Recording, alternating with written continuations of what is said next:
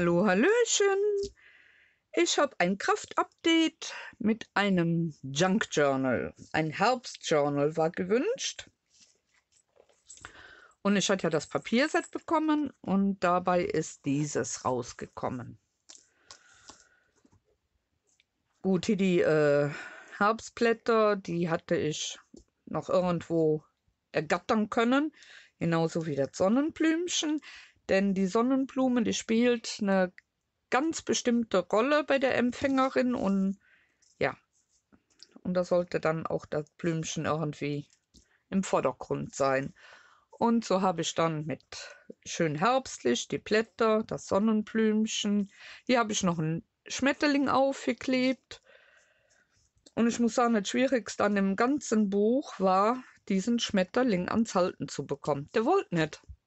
Der ist immer wieder weggerutscht, runtergefallen, der Kleber hat nicht gehalten und es war echt ein Kraftakt, ne? Ja, natürlich habe ich hier auch eine Dünse dran gemacht, ne? Inklusive Klöckchen. Der Buchrücken ist auch gestaltet. Von hinten sieht es so aus. Ja, mit einem einfachen Band zum Schließen.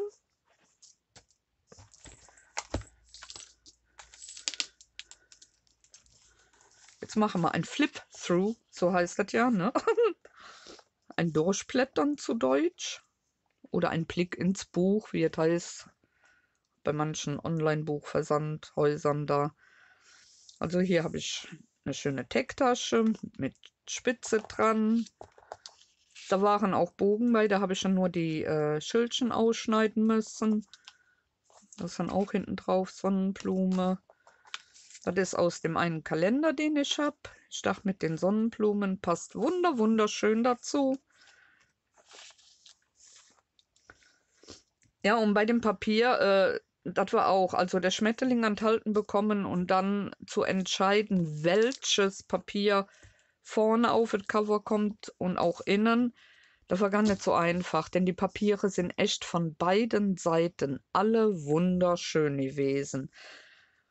Und da habe ich doch ziemlich lange überlegt, wie rum ich sie nur benutze und welche ich dann dafür aufklebe, ne? Denn da kann man auch hier sehen, auch da, das ist ja richtig toll, ne? Hier, da war mir dann die kleine Elfe hier wichtig, dass man die schön sehen kann. Ja, hier haben wir auch direkt den ersten Charme, ein Bienchen. Ich finde, ein Bienchen gehört auch zum Herbst. Da, da waren äh, irgendwelche Aufkleber drauf. Habe ich noch von hinten beklebt. In einem Restpapier. Ist ein schöner Tag. Hier oben der Sticker drauf. Ja, da kann man sehen, ne? Auf der Seite so schön mit der Ecke und da wiederum so schön, ne? Also ist, egal wie man macht, das ist verkehrt. Da waren äh, ein großer Stickerbogen dabei und dann zwei kleine Bogen äh, mit so, halt mit dem Gedönse. Chipboard-Sticker, ja, so nennt man sie. Ach Gott, nee, schon heute wieder Wortfindungsstörung. Und dann auch so Knöpfe und Gedöns für äh, zu benutzen und ist aber noch übrig geblieben. Ja, auch so kleine Sticker. Und dann hier so ein kleines Reststück. Dachte ich, das sieht auch noch richtig süß aus. Ne? Natürlich kaffeegefärbtes Papier. Mit den Schmetterlingen finde ich auch so schön. Das ist, äh, die, die Farben in dem Papierset, die waren himmlisch. Das war alles so schön aufeinander abgestimmt. Ja, dann hier dieser Sticker. Natürlich von meinem Naturpapier musste auch was mit rein, ist ja klar. Das äh, mit den Farben passt einfach super gut und da dachte ich, das gehört da rein. Dann hier auch ein bisschen glänzendes.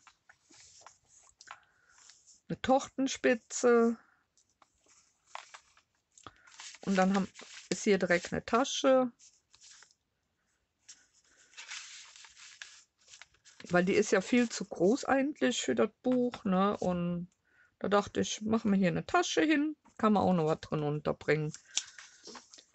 Normales Blatt. Dieses, ich sage ja, das Papier, das war so schön, ne? Auch von der anderen Seite. Dann sind hier dann die zwei kleinen Kärtchen drin.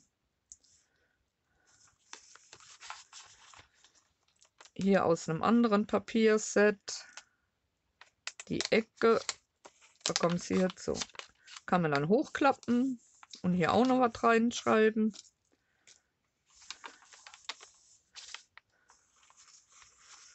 Das ist auch von mir von einem Papierset. Fand ich sehr, sehr schön, weil es passt doch farblich, ne? Auch mit dem Grün. Also im Herbst ist ja nicht alles ohne Grün. Es gibt ja immer noch Grün. Auch noch so ein Perlmuttpapier. Ja, jetzt kommen wir wieder zu dem Kaffeepapier. Hier eine große Klammer. Da kann man dann der Tag hier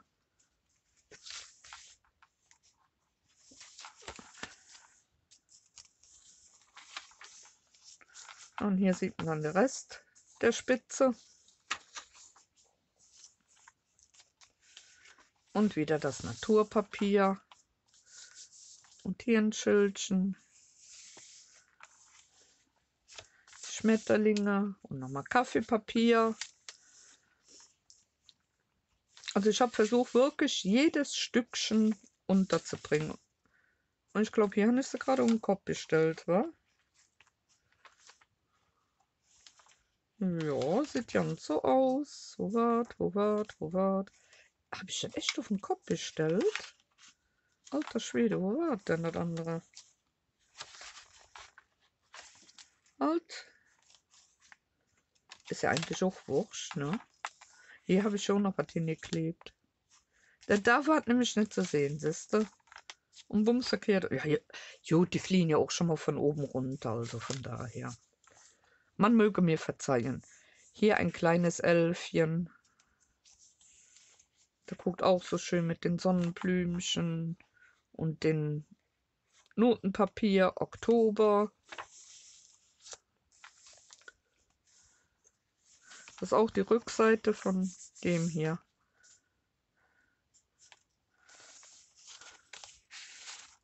Und dann hier diese Text. Also ist wirklich jedes Stückchen Papier möglichst dran verarbeitet. Da war auch nichts mehr übrig. Was ich da äh, in Müll geschmissen habe, das waren hauchdünne Streifchen, die ich dann abgeschnitten habe. Natürlich mit Spitze überall, ist ja klar. Ne? Hier dann der hier mit dem Schmetterling und dem Steinchen, fand ich auch sehr schön. Hier haben wir den nächsten Charme. Ein kleiner Frosch. Ja, und Frosch hatten wir auch im Garten, ne? Gehörte auch dazu. Ja, dann auch wieder zwei Takes.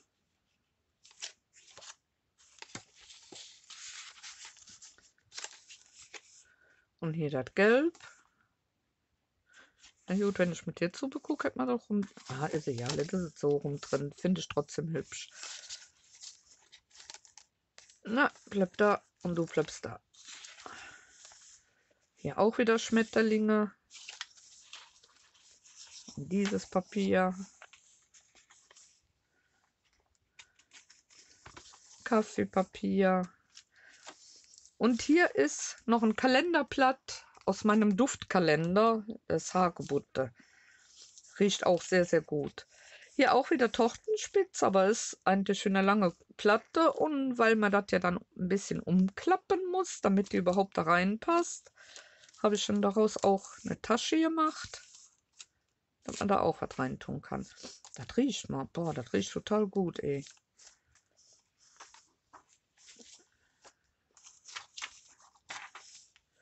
Ja, hier dann ein kleiner Umschlag und auch hier ein Bildchen drin. Und da, wie ich sagte, da waren noch Knöpfe dabei zum Aufkleben. Fand ich sehr, sehr schön dazu. Hier habe ich die Schmetterlinge richtig rum.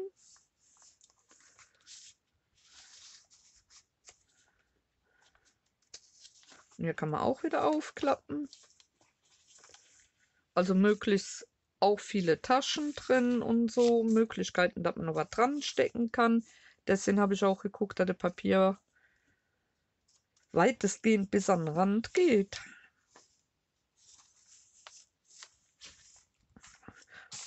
Und mein Kaffeepapier bügel ich ja nie. Da bleibt ja immer so ein bisschen knautschig. Und das mir fällt das super gut. Ne? Sieht dann so schön alt aus. Ja, und auch hier wieder so eine schöne Elfe. Auch hier ein paar Sticker drauf. Hier die Ranke. Weiter vorne war das Reststück von der Ranke.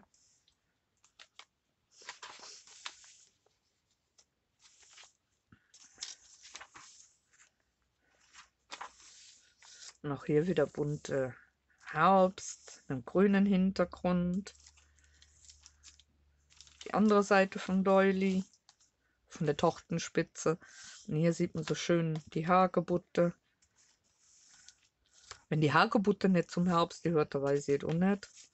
Hätte ich ja gern so ein großes Blatt gehabt, aber mit Sonnenblume war nichts, ne? Wäre ja auch toll gewesen, aber ich glaube, die duftet doch nicht. Oder? Nee.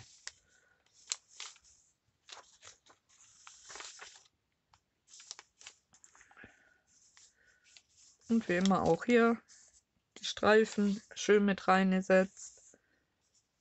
Hier ein Sticker drauf. Und da ein Streifen dem Schmetterling. Der fand ich einfach zu schade, also den wollte ich nicht einfach so, ne? Hier dann A6 Größe, hier auch wieder das kleine süße Tierchen. Es immer bei diesem Naturpapier habe ich einmal DIN A4 und einmal in A6 dann so ein Blatt. Und ich finde, das gehört dann einfach dazu. Da kann man dann, man kann das äh, auch nochmal falten, da kann man sich ein kleines Heftchen draus machen. Oder äh, man macht daraus einen Block, kann man auch basteln. Oder einfach so. Kann man ja auch drauf schreiben. Wenn man einen guten Stift hat für drauf, auch kein Problem. Ja, da sieht man von der Seite und da sieht man das Papier von der Seite. Ne? Und auch hier der kleine Mädelchen mit dem Schmetterlingchen. Da fällt mir gerade was ein. Da muss ich aber mal eben. Da hole ich mal eins raus, denn hier ist eine Tecktasche drin.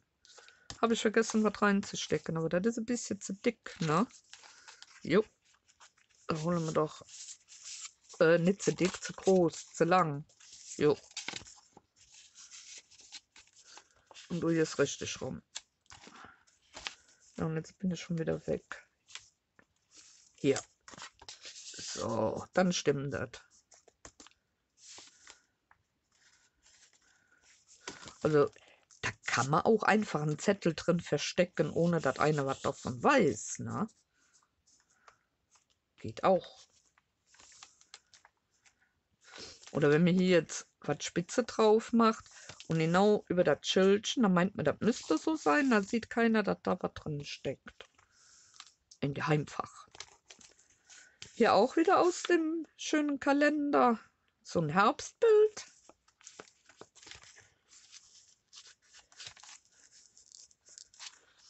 Und dann hier die Libelle. Die finde ich auch hübsch. So eine süße kleine Libelle gehört dazu.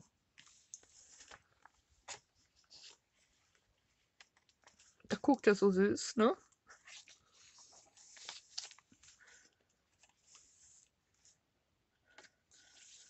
So, jetzt sind wir schon bei dem letzten Heft, bei der letzten Signatur. Auch hier wieder Naturpapier und wieder ein Herbstdesign. Diesmal mit orangem Hintergrund. Und auch hier wieder diese Tortenspitze.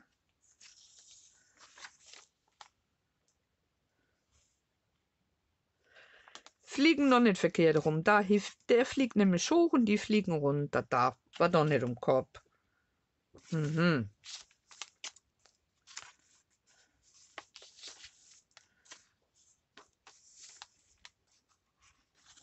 Weiß. damit man auch möglichst hier und da mal einen Platz hat, damit man auch wirklich was reinschreiben kann. Hier dann so ein kleines Schildchen wieder. Das kann man ja noch irgendwo hinsetzen. Und nochmal so ein kleines Mädchen für rein.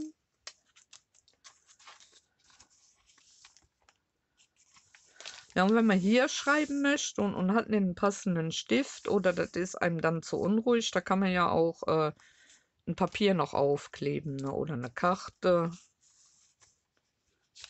Genauso wie hier kann man noch toll was draufkleben und dann trotzdem noch schreiben. Oder auch ein Foto. Da haben wir hier der kleine Püppi. Und hier die Karte.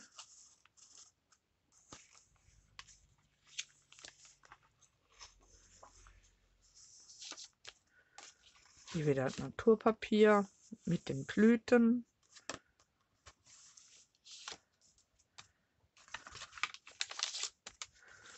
Und auch hier nochmal so einen kleinen Abschnitt.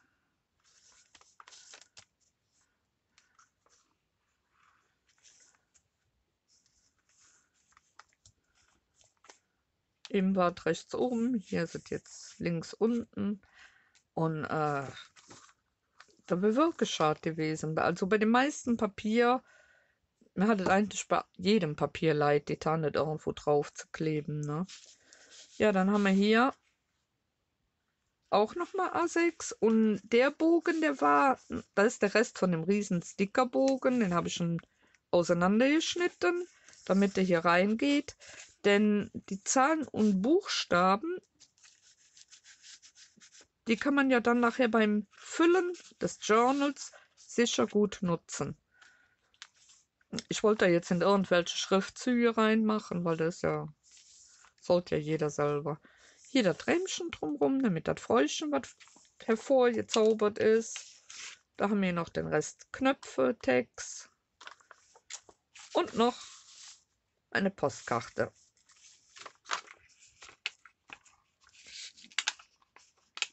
Ja, drin. Und auch hier wieder so ein paar Herbstblätter, ein Kürbis, Beautiful und hier ein Schmetterlingknopf. Ja. Und das ist das Herbstjournal.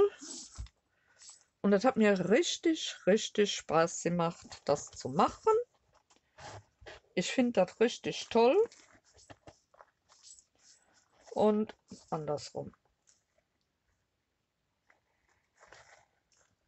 Es ist aber auch eine besondere Wonne gewesen, mit, mit so einem guten Papier zu arbeiten. Ne? Denn äh, manch einer mag sagen, boah, von der und der Firma, da ist mir zu teuer. Es gibt echt Wahnsinnsqualitätsunterschiede, denn jeder, da klebst du auf, bums ist glatt. Ne? Da gibt es ja andere Papiere, die sehr günstig sind. Ja, die sind auch genauso zu verarbeiten. Ne? Da hast du dann deine Probleme. Also hier, man sieht es ja auch, konnte ich hier drum kleben, gar kein Problem. Da ist nichts gerissen, das hält, das ist Hammer. Echt Hammer. Es war mir eine Freude, dies zu machen.